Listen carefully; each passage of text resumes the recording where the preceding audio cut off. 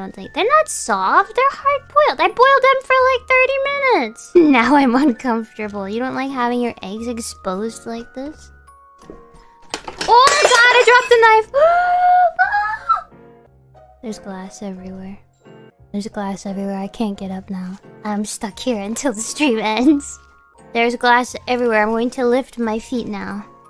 I don't have... I'm going to have to use this. I can't get up to get a fork. Oh no!